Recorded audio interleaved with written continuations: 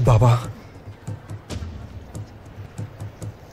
आपके जाने से कबल आपकी दस्त बोसी करना चाहता हूँ मैं।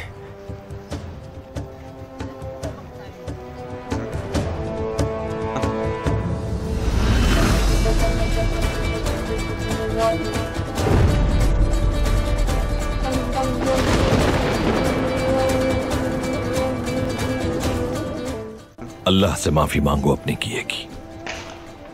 उसके बाद सोचना मेरी दस्तबोसी का।